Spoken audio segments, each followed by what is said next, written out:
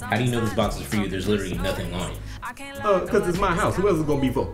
Give me the box. so you make all Fourteen thousand dollars. me your house. No, no, no, no need to set nothing up. Probably smell like a 7-Eleven, so make sure you take a shower. King.